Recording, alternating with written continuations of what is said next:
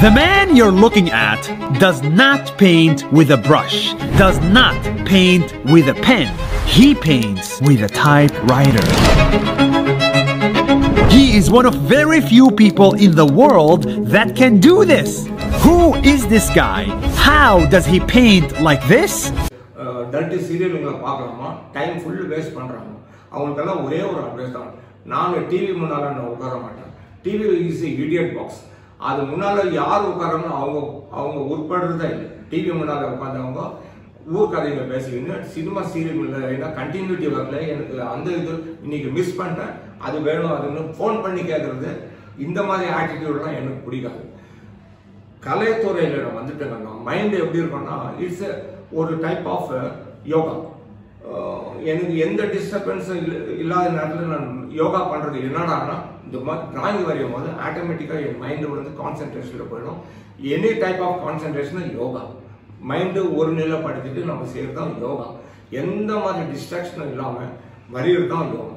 நான் என்ன சொல்கிறேன்னா எதனா ஒரு ஹாபி டான்ஸோ பெயிண்டிங்கோ ஃபோட்டோகிராஃபி வீடியோகிராஃபி கோலம் போடுறது பரதநாட்டியம் எவ்வளவோ கலைங்க இருக்குது எவ்வளோ கலை. அந்த மாதிரி ஒரு இதில் இன்ட்ரெஸ்ட் எடுத்துட்டா அந்த துறையில் ஒரு லெவலுக்கு வரவங்கிட்ட விடக்கூடாது இப்போ நான் சின்ன வயசுல நான் நான் நினைக்கவே இல்லை வேர்ல்டு ரெக்கார்ட் பண்ணுவேன்ட்டு. ஏதோ ஒரு இதுவாக ஸ்டார்ட் பண்ணேன். ஆனால் அந்த அந்த இன்ட்ரெஸ்ட்டு இன்னைக்கு எழுபத்தி நாலு வயசில் கூட அதே இன்ட்ரெஸ்ட் அதை விட அதிகமாக தான் இன்ட்ரெஸ்ட் மல்டிப்ளை பண்ணியிருக்கானே தவிர கம்மியாக நான் போனதே இல்லை. ஆல்வேஸ் என் இன்க்ளினேஷன் தான். நான் மேலே தான் போவேன் தவிர கீழே வர முடியாது. காற்றுள்ள பலூனை யாராலும் தண்ணி உள்ள அமுத்த முடியாது. என்னை எவ்வளோ பேர் இவங்க சிலர் ட்ரை பண்ணியிருக்காங்க ஆனால் என்னை யாரும் வீழ்த்த முடியாது. அந்த மாதிரி மைண்ட் செட்டில் நம்ம போகணும். அதுதான் என்னோட ஆம்பிஷன் எல்லாருக்கும் ஒரு நல்ல ஹாபி இருக்கணும். நல்ல ஹாபி இருந்தால் சிகரெட்டு பீடி காஞ்சா அடிக்கலாம் தண்ணி அடிக்கலான்ற ஒரு மைண்டு வரவே வராது. அது கேரண்டி எனக்கு ஒரு கெட்ட பழக்கம் மைண்ட் வெத்தலை பாக்கு கூட போட மாட்டேன். பீடாக கூட போட மாட்டேன். எந்த ஒரு பேட் ஹேபிட்டும் இல்லை என்ன அட்வைஸ் என்னன்னா கெட்ட பழக்கத்துக்கு போகாத இருக்கணும்னா ஒரு நல்ல ஹாபிக்கு வாங்க அதை முயற்சி செஞ்சு அது முன்னுக்கு வந்து நீங்கள் சக்சீட் ஆகணும் லைஃப்லன்றது தான் ஒரே ஒரு அட்வைஸ்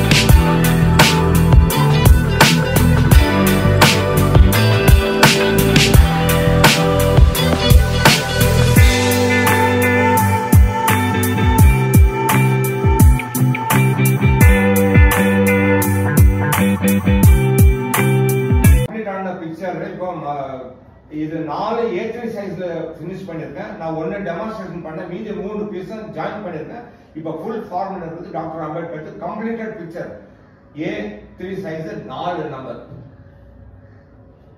நேரனுடைய டிராயிங் வரைஞ்சிருக்கேன்.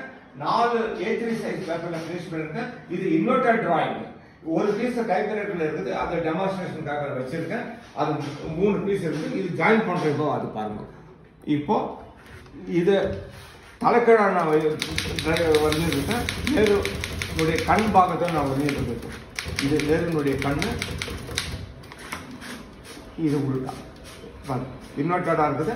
இதை அதில் ஜாயின் பண்ணால் நேருனுடைய ஃபுல் ஃபார்மும் இங்கே கிடைக்கணும் அப்படி அப்படியே கண்டினியூ லைட்டாக ஓட்டா வண்டி மியூசிக் வந்து.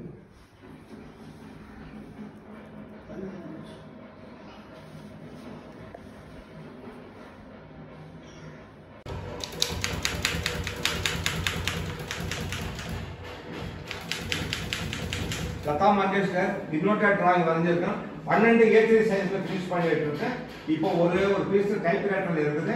மீதி பீசஸ்னு கிரவுண்டில் டிஸ்ப்ளே பண்ணிட்டு இருக்கோம். இப்போ பார்த்து இது நான் கம்ப்ளீட் பண்ணி நவ் ஐம் கம்ப்ளீட்டிங் கண் கண் வந்து உல்டால் இருக்குது. லதா மங்கேஷ்கர் இருக்குது இதுதான்.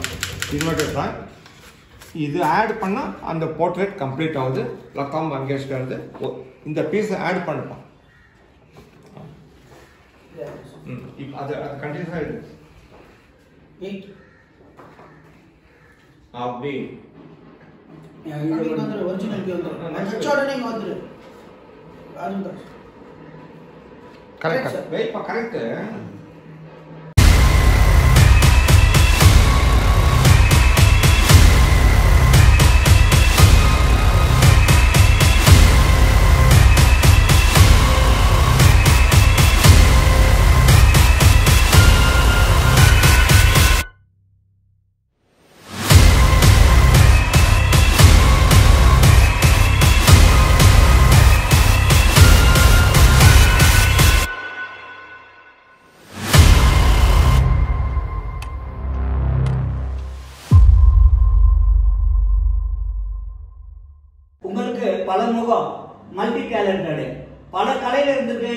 எனக்கு தெரியும். அதை சுருக்கமாக சொன்னால் ரொம்ப நல்லா இருக்கும் நான் ஃபோட்டோகிராஃபி பெயிண்டிங் பெயிண்டிங்கில் எல்லா மீடியமும் பண்ணுவேன். Water colours oil Indian ink pencil ஸ்கெட்சிலிருந்து knife painting knife work பண்ணுவேன்.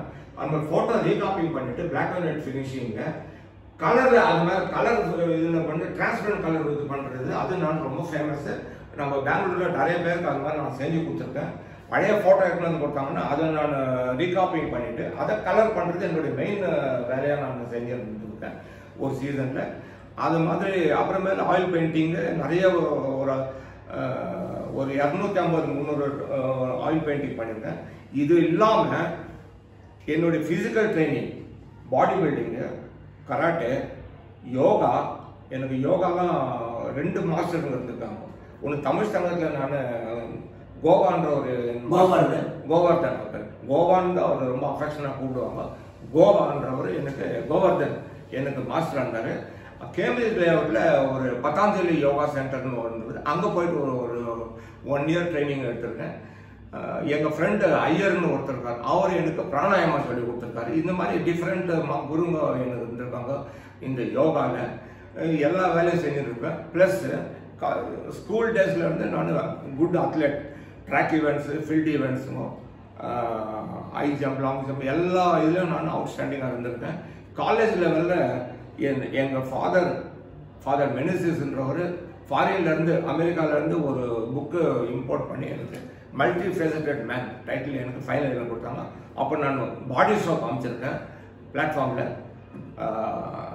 பாடி ஷோ கராட்டே எல்லாம் டெமான்ஸ்ட்ரேட் பண்ணிவிட்டு ஒரு ஒரு காலேஜில் நான் அவுட்ஸ்டாண்டிங் பர்ஃபார்மன்ஸ் நான் கொடுத்து நான் ரொம்ப ஃபேமஸாக இருக்கேன் அதுக்கப்புறம் பேங்க்ல எந்த வயசுல சேர்ந்து இந்த வேலைக்கு? எத்தனை வருஷம் சர்வீஸ் பேங்க்ல பேங்க் ஆஃப் பரோடா நான் தேர்ட்டி ஒன் இயர்ஸ் சர்வீஸ் பண்ணிட்டு முப்பத்தி ஒன்று கம்ப்ளீட் ஆனதுமே வாலண்டரி ரிட்டையர்மெண்ட் ஸ்கீம் இன்ட்ரோடியூஸ் ஆச்சு. அப்போ நாங்கள் என்ன யோசனை இந்த பேங்க்ல கம்ப்யூட்டரைசேஷன் ஆனதுமே எனக்கு கம்ப்யூட்டர் ஆனதுமே எனக்கு அந்த கம்ப்யூட்டர் வேலை எனக்கு பிடிக்கல. சரி நம்ம டிராயிங் வேலையை நம்ம ஒரு பேஷனாக எடுத்துன்னு பண்ணலாங்க ஒரு எதனா ஒரு லெவலுக்கு நம்ம போகணும் வேர்ல்டு ரெக்கார்ட் பண்ணோன்ற இது ஆம்பிஷன் அப்போ தான் எனக்கு வந்தது வாலண்டரி ரிட்டையர்மெண்ட் ஆனதுமே. அன்னு அப்போ ஸ்டார்ட் பண்ணது தான் டைப் ரைட்டிங் ட்ராயிங்கு இது வரைக்கும் நான் நான் ஸ்டாப் டெய்லி நான் இங்கே வந்துட்டு டெய்லி ஒரு one hour minimum one or two hours நான் டைப் ரைட்டிங் ட்ராயிங் பண்ணியிருக்கேன். அப்போ தான் நான் யோசித்தேன் எல்லாரும் பண்ணுறோம் எல்லாரும் பண்ணுற மாதிரி நம்ம பண்ணால் குருமூர்த்திக்கும் மற்றவங்க டிஃப்ரென்ஸ் இல்லாமல் போவோன்றது வேர்ல்டு ரெக்கார்ட் பண்ணுற ambition twenty five feet Mother Teresa முந்நூற்றி ஆறு ஏ த்ரீ சைஸ் பேப்பரில் நான் வரைஞ்சிருக்கேன். அது ரொம்ப கஷ்டமான ஒரு வேலை. எப்படி ஏன் கஷ்டம்னா முந்நூற்றி ஆறு ஷீட் டைப் ரைட்டிங்கில் வரையணும்னா அவ்வளோ ஷீட்லேயும் ஒரே யூனிஃபார்ம் டென்சிட்டியில் பண்ணோம் எவ்வளோ கான்ட்ராஸ்ட் இருக்குதோ அதே மாதிரி கான்ட்ராஸ்ட் ஒரு அஞ்சு இது பேப்பர் முடிச்சதுமே